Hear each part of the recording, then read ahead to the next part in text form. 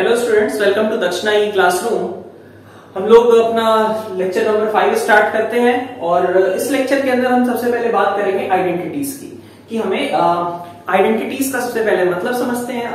आप में से बहुत सारे लोगों को पता भी होगा और एक बार को अपन देख भी लेते हैं आइडेंटिटीज का मतलब क्या होता है और उसका पॉलिनोमियल से क्या रिलेशन है, किस तरीके से हम यूज़ कर सकते हैं इसको हम सिंपल कैलकुलेशंस करने के लिए। ठीक है? या फिर आप ऐसे कह सकते हैं कि टफ कैलकुलेशंस को सिंप्लीफाई करने के लिए इसका कैसे यूज़ कर सकते हैं? ठीक है? तो यहाँ पे देखिए सबसे पहले, आपके पास आइडेंटिटीज का मतलब ये होता है कि LHS is equal to RHS आप लिखते हो, ठीक है? तो कई बार आप इस तरीके की चीज़ें लिखते हो कि भाई two x minus one is equal to three तो यहाँ से ये इक्वेशन हो जाती है, जब आप निकालते हो x is equal to two क्यों? क्योंकि x की कोई एक वैल्यू है या फिर x की दो चार वैल्यूज़ हैं या फिर लिमिटेड नंबर ऑफ़ वैल्यूज़ अगर ऐसे हैं जिनके लिए LHS और RHS आपके बराबर हो रहे हैं तब तो वो क्या कहलाता है? आपका इक्वेशन कहलाता है। क्या कहा मैंने? कि अगर LHS और RHS आपके कुछ limited number of values of x के लिए करेक्ट हो तब तो वो आपका क्या कहलाएगा? वो कहलाएगा आपका आ, क्या कहते हैं? इक्वेशन कहलाएगा। लेकिन अगर हमारे पास कुछ ऐसा लिखा हो कि लेफ़्ट हैंड साइड और राइट हैंड साइड एक्स की हर एक वैल्यू के लिए करेक्ट हो एक्स की हर एक वैल्यू के लिए करेक्ट हो, जैसे आप कह लो कि x plus one whole square अगर हम करते हैं तो it is equal to x square plus two x plus one अब आप इसमें एक्स की कोई भी वैल्यू रखो, हमेशा ये चीज़ कैसी आएगी? करेक्ट आएगी। ठीक है? तो अगर हम x की ऐसी वैल्यूज़ मतलब LHS और RHS दोनों को x की हर एक वैल्यू सेटिस्फाई करने लगे, ठीक है? ऐसे सारी वैल्यूज़ जो कि इधर रखी जा सकती है, इधर रखी जा सकती हैं, वो सभी हमेशा LHS और RHS को आपस में बराबर कर दें। तो इसका मतलब है कि हमारे पास ये एक आइडेंटिटी लिखी हुई है। तो सबसे पहले आपको इक्वेशन और आइडेंटिटी में मतलब समझ में आया। एलएचएस और आरएचएस इनकी इक्वेलिटी कुछ particular set of values of x के लिए हो, ठीक है? तब तो वो इक्वेशन है। और अगर यही आपका हर एक एक्स की वैल्यू एक्स की जितनी भी वैल्यूज़ एग्जिस्ट करती हो, सबके लिए अगर आपकी यही बात ट्रू हो कि एल एलएचएस और आरएचएस आपके बराबर आएँगे तो इसका मतलब फिर वो आइडेंटिटी है। ठीक है? तो सबसे पहले हमने ये समझा कि आइडेंटिटीज होती क्या है। अब आइडेंटिटीज में आपको कौन कौन सी आइडेंटिटीज यूज़ करनी है और उनका किस तरीके से आपको एप्लीकेशन करना है। ये दो हिस्से हैं आपके। तो सबसे पहले आइए, अपन स्टार्ट करते हैं सिंपल सिंपल आइडेंटिटीज के साथ। तो सबसे पहली आइडेंटिटी जो हर जगह हमेशा सबसे पहले यहीं से स्टार्ट किया जाता है, वो है ए प्लस बी का होल स्क्वायर जब आप यूज़ करते हो तो यहीं से सबसे पहले कहानियाँ स्टार्ट होती हैं। ए प्लस बी का आप होल स्क्वायर करते हो तो that is basically A plus B into A plus B अब जब आपने पॉलिनोमियल्स का मल्टीप्लीकेशन पढ़ रखा है तो फिर आप इसको मल्टीप्लाई करके ओपन कर पाओगे कि ए और ए का मल्टीप्लीकेशन क्या आएगा? ए स्क्वायर आएगा।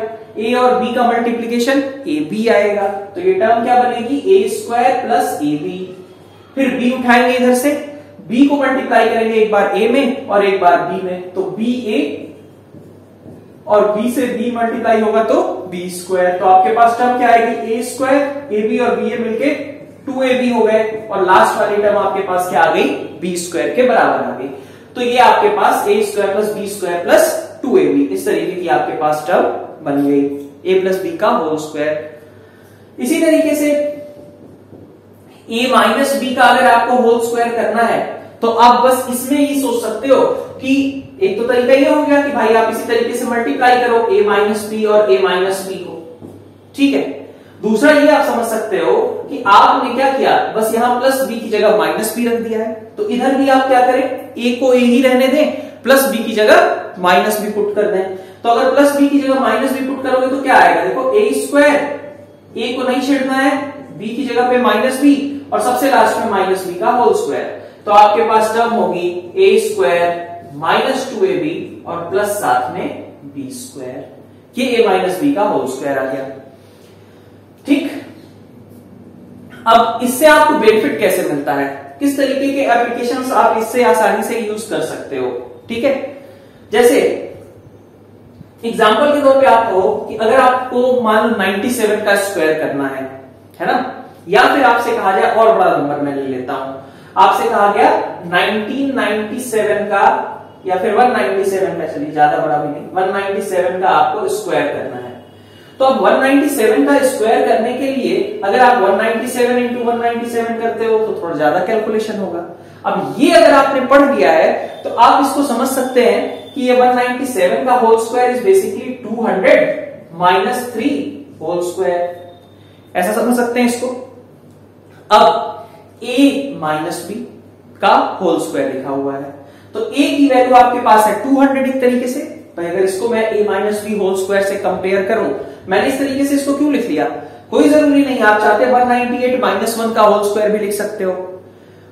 तुम चाहो तो इसको लिख सकते हो 300 माइनस वन ज़ीरो थ्री का होल स्क्वायर लेकिन हम ऐसे टर्म्स यूज़ करें ना ए और बी के, जिनका स्क्वायर लिखना आपके लिए आसान हो। जैसे, अगर आप 197 के होल स्क्वायर को 197 को आप 200 माइनस थ्री की जगह आप चाहो तो लिख सकते हो 198 माइनस वन ठीक है? लेकिन 198 का स्क्वायर करना पड़ेगा। ठीक? अब वहाँ पे अपन फिर से फंस जाएँगे तो कोई फ़ायदा नहीं होगा।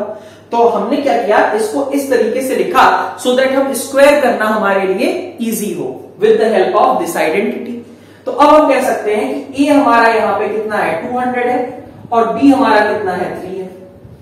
तो ए स्क्वायर आपके पास कितना आ जाएगा? 200 का स्क्वायर बी स्क्वायर कितना आ जाएगा ये माइनस टू ए बी है, पहले उसको भी लिख लीजिए। माइनस टू ए कितना है? 200 बी कितना है? थ्री। और लास्ट में आपके पास क्या है?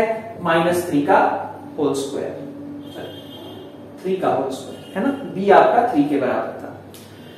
तो अब आप यहाँ से निकाल सकते हो। 200 का whole square is equal to two का स्क्वायर फोर। यहाँ पे दो जीरोस हैं तो अब कितने हो जाएँगे? चार हो जाएँगे। तो चार जीरोस आपने लगा दिए।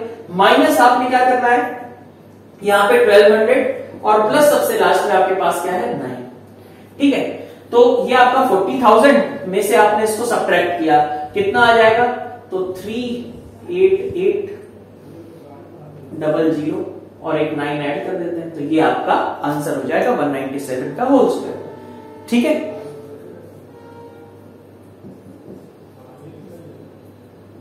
अब आप इसी तरीके से a प्लस बी के होल स्क्वायर को भी यूज़ कर सकते थे। मान लीजिए आपसे कहा जाए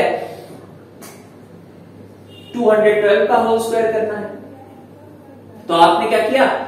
इसको लिख लिया 210 प्लस टू का होल स्क्वायर। आप चाहो तो इसको 220 माइनस एट का भी होल स्क्वायर लिख करके प्रोसीड कर सकते हो, कोई उसमें रॉन्ग नहीं आएगा। यहाँ ए प्लस बी का होल स्क्वायर यूज़ करेंगे, यहाँ ए माइनस बी का होल स्क्वायर यूज़ करेंगे। दोनों से आंसर्स आपके सेम ही आने वाले हैं। तो यहाँ पे आपके पास एक्सप्रेशन क्या आएगा?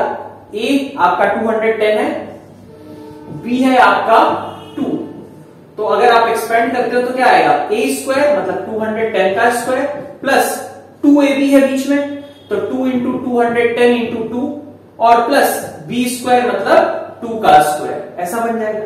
तो आपके पास टर्म आ गई four four one double zero plus eight forty और प्लस फोर तो ये आपका बन जाएगा फोर फोर और हंड्रेड और ये नाइन फोर्टी ये आपका करेक्ट आंसर हो जाएगा। ठीक है? आप यहाँ से भी चाहो तो ये माइनस बी का होल स्क्वायर लगा करके वेरीफाई कर सकते हो कि अगेन आपके पास सेम ही चीज़ निकल करके आएगी। ठीक है? अब इसके साथ में, अब इन दोनों को कोरिलेट करते हुए हम चाहें तो ऐसे भी देख सकते हैं कि a प्लस बी का होल स्क्वायर और a माइनस बी के होल स्क्वायर में डिफरेंस क्या है? तो आप देखो, अगर आप इसको थर्ड आइडेंटिटी कह लो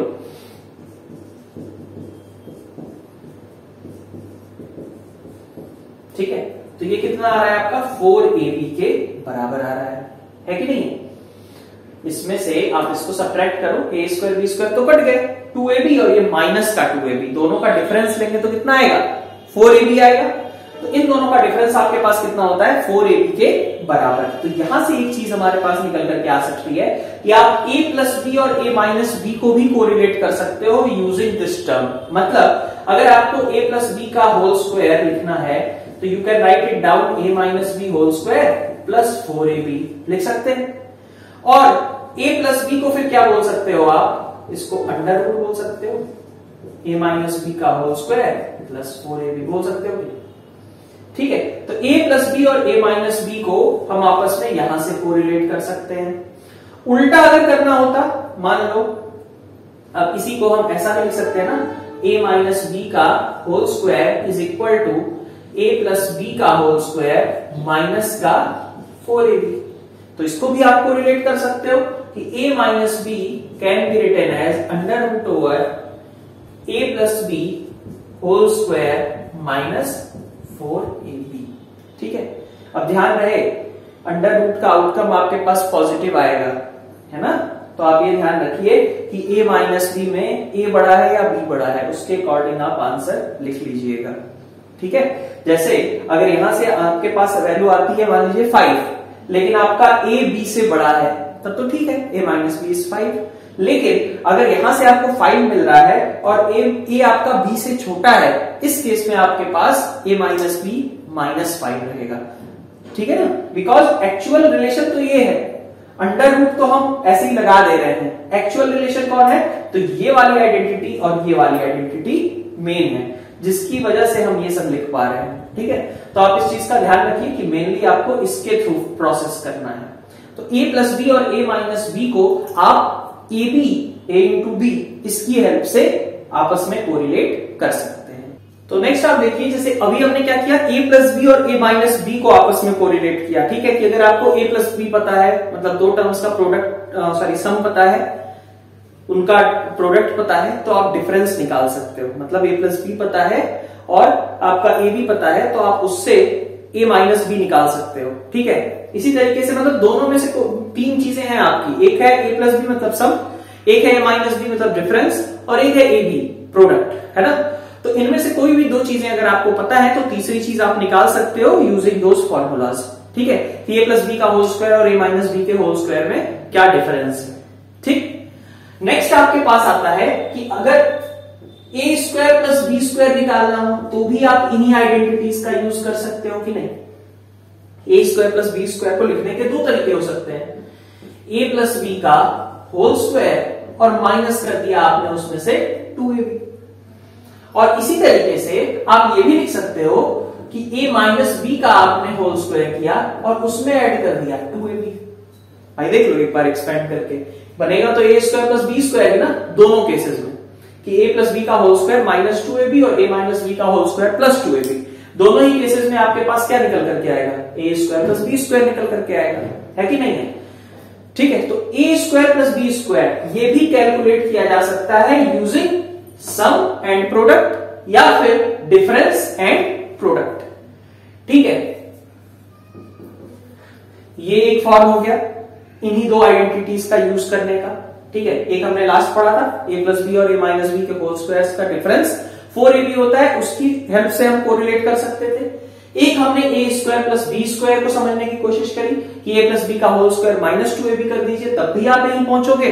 और डिफरेंस से पहुँचना है तो आप इस फॉर्मूले को यूज़ कर लीजिए। ठीक है? फिर आपके पास और भी अगर देखें तो और क्या यूज़ हो सकता है इसी फॉर्मूले का? A plus one by a का होल स्क्वायर अगर आपने ये किया तो आपके पास टर्म क्या आएगी? अब बी को आप वन बाई ए ट्रीट करो, ठीक है ना? तो a square two a b की जगह पे क्या लिख दिया? वन बाई ए लिख दिया। और लास्ट में आपके पास टर्म आ गई वन बाई ए का होल स्क्वायर ठीक है?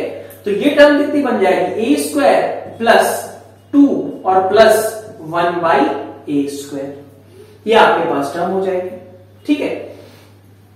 इसी तरीके से अगर आप a minus one by a का होल स्क्वायर कर रहे हो तो यहाँ पे आपके पास क्या आएगा? a माइनस बी का होल स्क्वायर है। तो a square minus two a b की जगह पे वन बाई ए और लास्ट में आपके पास b का स्क्वायर मतलब वन बाई ए का स्क्वायर तो टर्म कितनी बन गई इस बार? A square minus two plus one by a square ये आपके पास टर्म बनी रह गई। तो a plus one by a का होल स्क्वायर आ गया a minus one by a का होल स्क्वायर आ गया, है ना?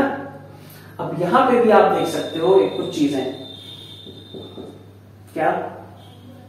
कि अगर आपको यहाँ पे a square plus one by a square निकालना है, ठीक है? तो इसके आपके पास दो तरीके हैं। यहाँ से भी निकलेगा और यहाँ से भी निकलेगा। A square plus one by a square यहाँ से बनाना है तो इस टू को हम इधर भेज दें। मतलब a plus one by a के होल स्क्वायर में से टू को सब्ट्रैक्ट कर दें।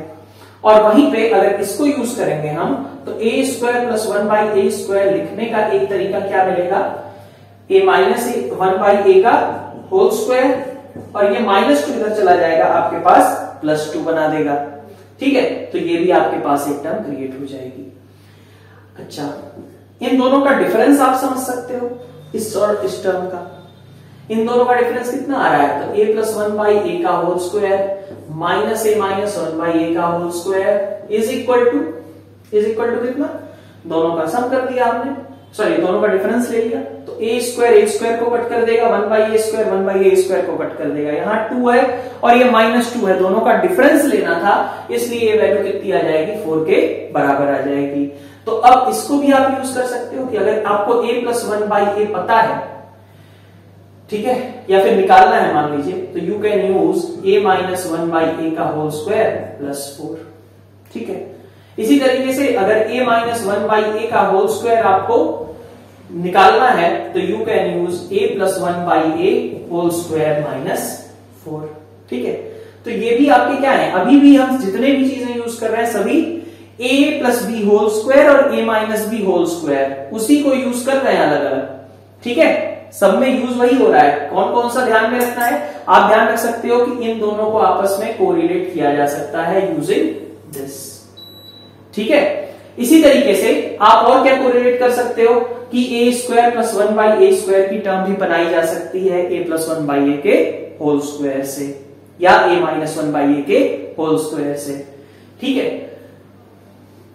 ठीक है तो इससे रिलेटेड आपने क्वेश्चंस भी करे होंगे, हम भी इसको प्रैक्टिस करेंगे, क्योंकि हमारी आज का जो लेक्चर है और नेक्स्ट लेक्चर जो आज होने वाला है lecture number six in polynomial ये दोनों ही आइडेंटिटीज पे बेस्ड है। तो एक लेक्चर में हम सारे आइडेंटिटीज को लिस्ट आउट कर रहे हैं और नेक्स्ट लेक्चर में इनके एप्लीकेशन को हम और डीप में एक बार को समझेंगे कहाँ कहाँ इसको अप्लाई कर सकते हैं। ठीक है?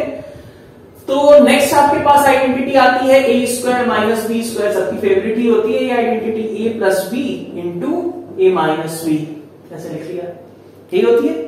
A square minus b square is equal to a plus b into a minus b दोनों तरीके से यूज़ करना आना चाहिए आपको। अगर ये लिखा है तो आपको ऐसे भी लिखने आना चाहिए और ये लिखा हुआ है तो उल्टा इस तरीके से भी लिखने आना चाहिए। मतलब अगर आपके पास three x square minus five y square लिखा है तो आप क्या कर सकते हैं? आप कह सकते हैं कि ये रूट थ्री एक्स का whole square minus root five y का होल स्क्वायर लिखा है। तो इसके दो फैक्टर्स आप ले सकते हो। ये अगर ए स्क्वायर है, ये बी स्क्वायर है। तो आपके पास ए प्लस बी एक फैक्टर और एक फैक्टर आपके पास ए माइनस बी ये दोनों ही आपके पास बन जाएँगे। ठीक है? तो a square minus b square आपका बन गया। इसी तरीके से, अगर मान लीजिए आपके पास लिखा हुआ है चलिए थोड़ा सा एक्स्ट्रा चीज़ें कर लें। A square plus a plus one और दूसरा लिखा हुआ है a square minus a plus one ठीक? तो क्या हम इसको इस तरीके से बना सकते हैं क्या कि ए स्क्वायर प्लस वन आपने यहाँ कर दिया? प्लस ए साथ में कर दीजिए और इसको लिख दीजिए ए स्क्वायर प्लस वन और यहाँ पे माइनस ए कर दीजिए। ठीक है? तो थोड़ी देर के लिए मैं क्या करता हूँ, इसको इस तरीके से लिखने से फ़ायदा क्या हुआ कि अगर मैं इसको पी बोल दू तो एक जगह लिखा है पी प्लस ए और एक जगह लिखा है पी माइनस ए लिखा हुआ? तो p plus a into p minus a कितना होगा? P square minus a square तो इसको हमने लिख दिया p square minus a square लिख सकता हूँ? P plus a into p minus a p की वैल्यू क्या थी actually a square plus one इसको भी लिख लेते हैं।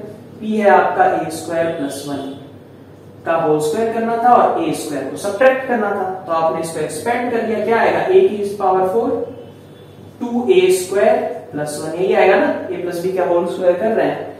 माइनस ए स्क्वायर तो आपके पास a raise to power four plus a square plus one ये आपके पास टर्म बन जाएगी। तो इवन ये वाला फैक्टर भी आपको याद रखना पड़ता है, बड़ा इंपॉर्टेंट है ये इधर ऐसा आता है, ये तो आपने समझ लिया। लेकिन उल्टा भी याद रखिए, क्योंकि ये बहुत काम का फैक्टराइजेशन होता है ए की power four plus a square plus one factorization अगला हम जो हमारा सेवेंथ लेक्चर होगा, वहाँ पढ़ेंगे भी, ठीक है? तो वहाँ पे भी आप इसको देखेंगे। ठीक है? A square minus b square के बाद नेक्स्ट आइडेंटिटी आपको कौन सी याद रखनी है? A plus b plus c का होल स्क्वायर अब ये भी कुछ अलग नहीं है, कैसे होता है ये?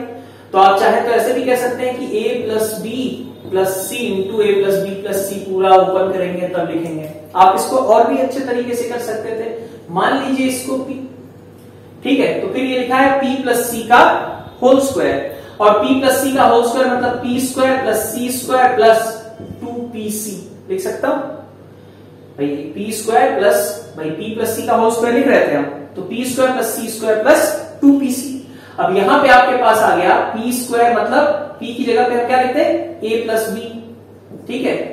का होल स्क्वायर प्लस आपको लिखना है सी स्क्वायर प्लस आपको टू p की जगह पे a plus b into c लगा दिया। तो आपके पास वैल्यू कितनी आएगी? A square plus b square plus two a b plus c square plus two a c plus two b c तो टर्म इसको अगर हम सही तरीके से एक बार क्लब करके लिख लें तो क्या आ रही है? A square plus b square plus c square है ना? Plus two a b plus b c plus c a ये इस तरीके की टर्म बन रही है। A plus b plus c का होल स्क्वायर किया आपने तो क्या हुआ?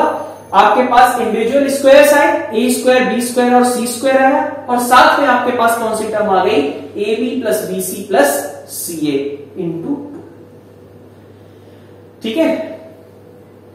अब कहीं मान लीजिए ऐसा हो गया कि भाई a plus b minus c करना है तो क्या दिक्कत है? कुछ नहीं। सी की जगह माइनस सी रख देना। तो a square b square c की जगह माइनस सी का स्क्वायर कर दिया। फिर two a b as it is रहेंगे बी के साथ माइनस सी रहेगा और माइनस सी और ए का मल्टीप्लीकेशन हो जाएगा। तो आपके पास टर्म क्या बनेगी? A square plus b square plus c square इसकी सेहत को कोई फ़र्क नहीं पड़ता। ये अभी भी वही रहेगा। यहाँ पे टर्म क्या आ गई? Two times a b minus का बी सी हो गया और माइनस का सी ए आ गया।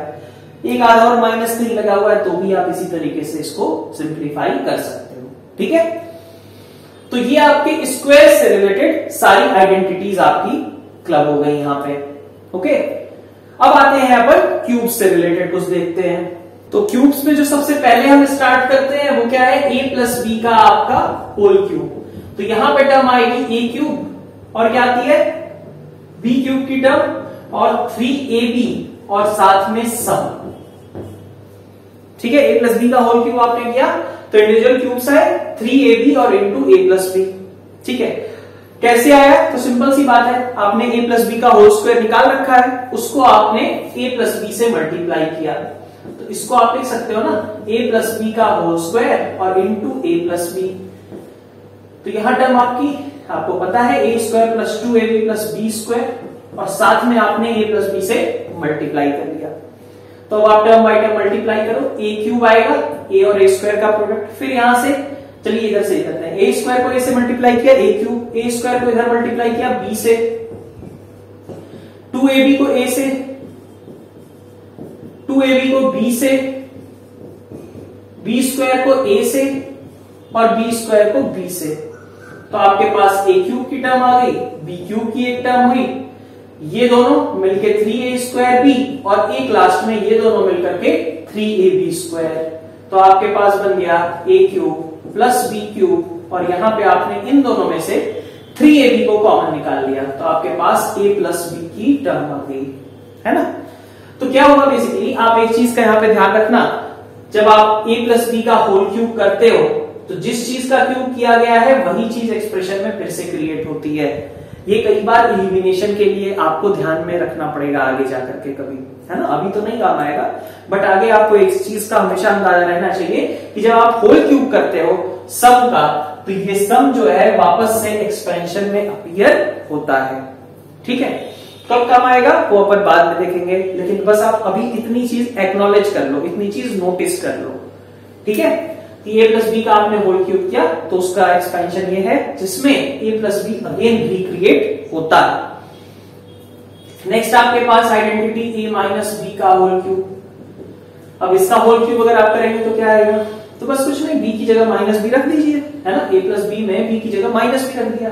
तो ए क्यूब आपके पास आ गया। माइनस बी का क्यूब थ्री ए बी की जगह पे माइनस बी और यहाँ पे अगेन माइनस बी तो आपके पास टर्म बन जाएगी a cube minus b cube minus three a b और इंटू ए माइनस बी ये आपके पास टर्म क्रिएट हो जाएगी। ए माइनस बी का होल ठीक है? तो यहाँ पे भी आप देख सकते हैं, जब आपने डिफरेंस का भी होल क्यूब किया है तो यही ए माइनस बी अगेन यहाँ पे रिक्रिएट हुआ है। है ना? तो बस ये चीज़ आपको नोटिस करनी है, जब आप होल क्यूब करते हो सम का या डिफरेंस का। तो वो सम या डिफरेंस अगेन रिक्रिएट होता है एक्सपेंशन में। ठीक है? नेक्स्ट आते हैं यहाँ पर next identity a cube plus b cube ठीक है? तो a cube plus b cube को अपन कैसे लिखते हैं? हमने क्या करना होता है? ए प्लस बी आपने एक ब्रैकेट बना लिया और एक ब्रैकेट में a square plus b square ठीक है? और अगर यहाँ प्लस है तो यहाँ लगा दीजिए माइनस ठीक है? जो यहाँ पे साइन है, उसका उल्टा यहाँ रहेगा प्रोडक्ट और a cube minus b cube की बात करते हैं तो यहाँ आपने ए माइनस बी से शुरू किया। A square plus b square इसमें कोई दिक्कत नहीं। जो यहाँ है साइन वही यहाँ है। और उसका उल्टा इधर रहेगा। मतलब इसका उल्टा यहाँ पे कह लीजिए, या इन दोनों जगहों का साइन सेम होगा। ठीक है? यहाँ पे साइन उल्टा हो जाएगा। ठीक है? बाकी a square plus b square सब में रहना ही रहना है। तो a cube plus b cube को आप इस तरीके से भी एक्सप्रेस कर सकते हैं। ओके अब ये कैसे आया? तो ये भी आप वहीं से देख सकते हो। ये वाला फॉर्मूला है a cube plus b cube के लिए। आपने लिख लिया ए प्लस बी का होल क्यूब माइनस का three a b into a plus b देख सकते हैं? अब ये पी क्यूब मतलब ये जो टर्म है और ये जो टर्म है सेम ही है। तो इनमें से आपने क्या किया? ए प्लस बी को कॉमन निकाल लिया। ठीक? तो आपके पास बचेगा क्या? ए प्लस बी का होल स्क्वायर यहाँ बचेगा। तो दोनों में से ए प्लस बी को कॉमन निकाल लिया तो ये क्यूब था तो बचा कितना? स्क्वायर और माइनस कर दिया आपने three a b a plus b तो आप बाहर निकाल ही चुके हैं। तो बाकी बचेगा क्या? ए प्लस बी और इंटू यहाँ से a square plus b square plus two a b minus three a b plus two a b कहाँ से आया। ए प्लस बी का होल स्क्वायर का फॉर्मूला तो यहाँ पे आपके पास आ गया a plus b into a square plus b square minus a b ठीक है? ये a cube plus b cube के लिए हो गया। सिमिलरली आप इस वाले एक्सप्रेशन को खुद से ट्राई करो और यहाँ से आप e cube minus b cube को निकालो। अब इन फॉर्मूलों की हेल्प से आप जैसे a plus one by a को होल स्क्वायर्स के साथ मतलब को रिलेट कर रहे थे ना ए प्लस ए और ए माइनस ए इन सबको a minus one by a a plus one by a ठीक है? तो वैसे ही क्यूब में भी आप देख सकते हो कि अगर आपके पास a cube plus b cube था, है ना? और इसके आपने क्या लिखा था term a plus b into a square plus b square minus a b तो अगर आप a cube plus one by a का होल क्यूब लेते हो तो क्या बनेगा? A plus one by a a square plus ये वन बाई ए का स्क्वायर ठीक है? माइनस ए बी की जगह पे कितना? वन बाई ए तो ये टर्म बन गया आपका a plus one by a a square plus one by a square minus one और सेम तरीके से अगर आप a cube minus one by a cube करते हो तो ये बन जाएगा, बस कुछ नहीं वन बाई ए की जगह माइनस वन बाई ए रख देना है आपको। तो ये टर्म बन जाएगी a minus one by a a square plus one by a square. ठीक है? और जब आप वन बाई ए की जगह पे माइनस वन बाई ए रखेंगे तो लास्ट में टर्म कितना आ जाएगा? Plus one. है ना? भाई माइनस वन बाई ए आ रहा है तो कितना आ जाएगा? प्लस वन, ये बन जाएगा। ठीक है? तो a minus one by a into a square plus one by a square plus one ठीक है? इसको भी आप a square plus one by a square को इससे कोरिलेट कर सकते थे, ये मैंने आपको दिखाया था कि a square plus one by a square can be written as a plus one by a का whole square minus two similarly this thing can also be written as by a square plus 1 by a square can also be written in terms of a minus 1 by a. इसको आप लिख सकते थे, a minus 1 by a का whole square plus 2 ठीक? ठीक? अब next एक इंपॉर्टेंट आइडेंटिटी अपन देखते हैं, ठीक है? सभी इंपॉर्टेंट है, ठीक है? बट इसमें थोड़ी सी एक्स्ट्रा चीज़ें भी आपको देखने को मिलेंगी। A cube plus b cube plus c cube minus three a b c इसके आप फैक्टर कर सकते हो। इसके फैक्टर्स क्या क्या होते हैं, ठीक है? इसको पहले अभी याद रख रहे हैं हम। A plus b plus c और साथ में a square plus b square plus c square minus का a b minus b c minus c a a plus b plus c into a square plus b square plus c square minus a b minus b c minus c a ये terms है। ठीक है, आप इसको multiply करके अगर देखेंगे तो ये चीज़ें कुछ इस तरीके से सिंप्लीफाई होकर के आएगी। ठीक है? अब इसमें इंपॉर्टेंट क्या है कि अगर मान लीजिए, अभी इसको हम चाहे तो पहले और सिंप्लीफाई कर लेते हैं। आपको ज़्यादातर जब भी आप देखोगे तो टेक्स्ट बुक्स में कई बार इस तरीके का ही एक्सपेंशन दिया होगा। बट इसको हम और क्लब कर सकते हैं a plus b plus c को एज इट इज़ रखिए। इसको आप लिख सकते हो क्या? मैं इसमें से हाफ़ बाहर निकाल लेता हूँ। अगर मैं टू एक तरीके से वन बाई टू बाहर निकाल रहा हूँ तो अंदर टू से मल्टीप्लाई करना पड़ेगा, है ना? टू से डिवाइड मल्टीप्लाई एक तरीके से आपको। तो हमने क्या किया? इसको टू से डिवाइड कर दिया। तो टू से मल्टीप्लाई करेंगे तो क्या बनेगा? Two a square two b square two c square two a b two b c two c a बनेगा। तो यहाँ पे आपके पास टर्म आएगी a plus b plus c इस वन बाई टू को भी अपन आगे लगा ले, लगा लेते हैं। ठीक है? अंदर वाली चीज़ में देखिए क्या कर सकते हैं आप। ए स्क्वायर बी स्क्वायर दो दो है ना आपके पास two a square two b square है। तो आप एक एक यूज़ कर लो। A square plus b square और उसके साथ में माइनस टू ए भी चिपका दो। ठीक? फिर एक बी स्क्वायर उठाओ और एक सी स्क्वायर उठाओ, उसके साथ में माइनस टू बी सी चिपका दो। और सबसे लास्ट में आपके पास अब देखो, आप दो बी स्क्वायर यूज़ कर चुके हो, एक ए स्क्वायर और एक सी स्क्वायर बचे हुए हैं अभी। तो आप कह सकते हो कि एक और टर्म बना ली a square plus c square minus two c a बन गया? अब यहाँ से आप क्या देख सकते हैं? यहाँ से आपके पास ये बन जाएगा half a plus b plus c और इंटू ठीक है? ये टर्म क्या लिखी हुई है? ए माइनस बी का होल स्क्वायर ये लिखा है ए माइनस बी का होल स्क्वायर फिर दूसरी टर्म क्या लिखी है? बी माइनस सी का होल स्क्वायर और तीसरी टर्म क्या लिखी है? सी माइनस ए का होल स्क्वायर यही है ना? ए माइनस बी का whole square plus b minus c का whole square plus c minus a का होल स्क्वायर ठीक है? ओके अब, अगर मेरे से ये कहा जाए कि आपको दो चीज़ें समझनी है यहाँ पे। एक तो आप ये समझ लो कि इसका फैक्टर ऐसा हो सकता है, ठीक? और दूसरी चीज़, इसको आप कैसे ब्रेक करके लिख सकते हो? This thing is also coming out as ये भी इंपॉर्टेंट है कि a square plus b square plus c square minus a b minus b c minus c a is equal to कितना? हाफ़ आपने बाहर निकाला। तो बाद में बच क्या रहा है? ए माइनस बी का whole square b minus c का होल स्क्वायर और प्लस साथ में सी माइनस ए का होल स्क्वायर ठीक है? तो ये वाला पार्ट भी इंपॉर्टेंट है कि आप इसको ऐसे फैक्टराइज करो और फिर ये भी समझो कि इसको हम ऐसा लिख सकते हैं। अब इसको ऐसा लिखने के फ़ायदे क्या क्या होंगे वो अपन समझते हैं। ऐसा लिखने से हमारे पास क्या चीज़ क्लियर हुई? कि ये वाला जो टर्म है ना हमारा, वो क्या है बेसिकली एक स्क्वायर एक स्क्वायर और एक और स्क्वायर तीन स्क्वायर्स का सब डिवाइडेड बाय टू है. अब आप बताओ कि क्या किसी चीज़ का स्क्वायर कभी निगेटिव हो सकता है? नहीं ना? भाई ए माइनस बी का होल स्क्वायर कुछ भी होगा ए बी कुछ भी हो रियल अगर है तो स्क्वायर तो कैसा आएगा? पॉजिटिव ही आएगा या फिर ज़ीरो अगर बी और सी बराबर हुए तो ज़ीरो हो जाएगा और नहीं तो कुछ पॉजिटिव क्वांटिटी मिलेगी बी माइनस सी के होल स्क्वायर करने पे। इसी तरीके से यहाँ से भी तो ये क्वांटिटी आपकी कैसी है? ये ग्रेटर देन और इक्वल टू ज़ीरो है। ये भी क्वांटिटी आपकी कैसी है? ग्रेटर देन और इक्वल टू ज़ीरो है। और लास्ट वाला टर्म भी आपका कैसा है? ग्रेटर देन और इक्वल टू ज़ीरो है।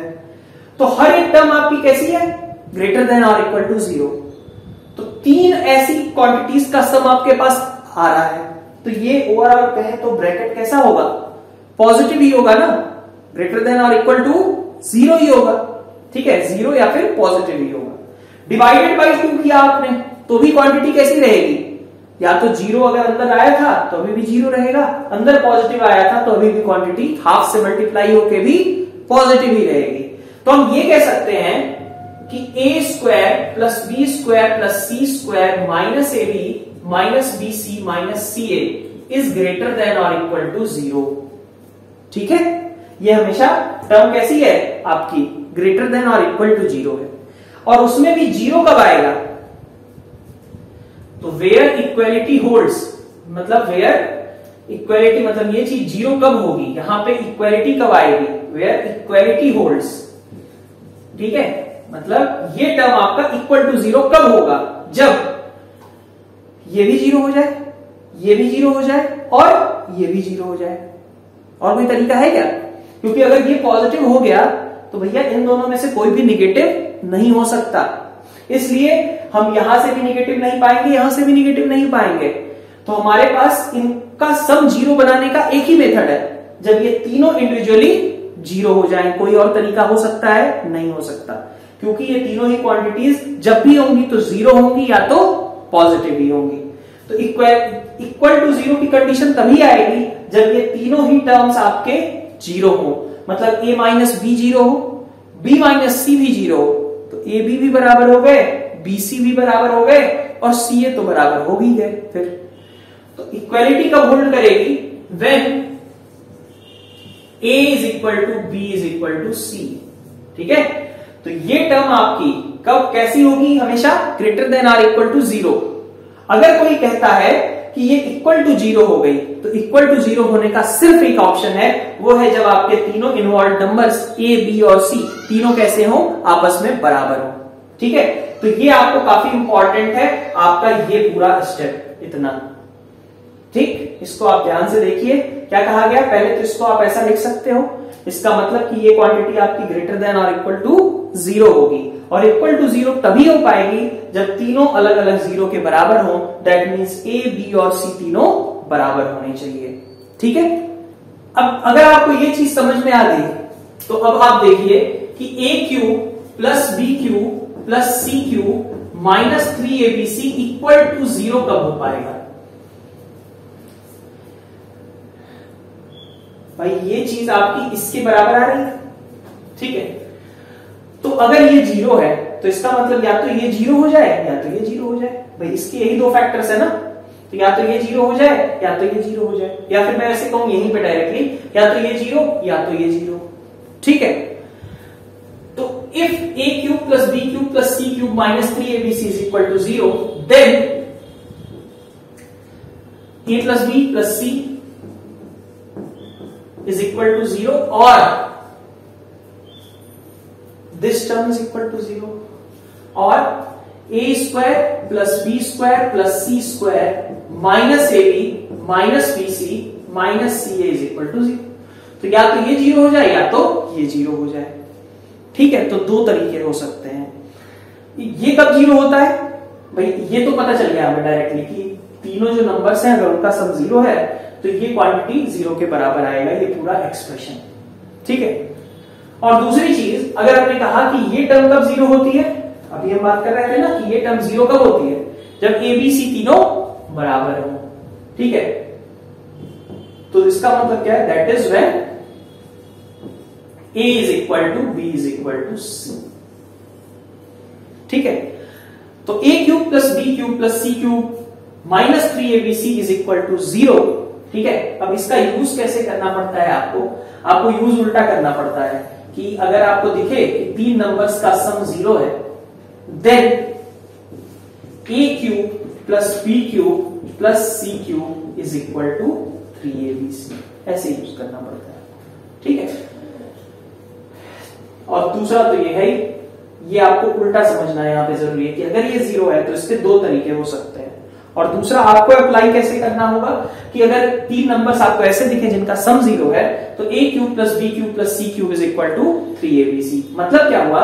जैसे मान लीजिए आपसे कहा जाए कि एक्स माइनस वाई का whole cube plus y minus z का whole cube plus z minus x का होल क्यूब तो आप यहाँ पे क्या नोटिस कर सकते हो कि अगर मैं इसको ए ले लू, इसको बी बोल दू और इसको सी तो ये लिखा है a cube plus b cube plus c cube जहाँ पे ठीक है, इसको मैं ए क्यूब बोल रहा, इस टर्म को बी क्यूब और इसको सी क्यूब, है ना?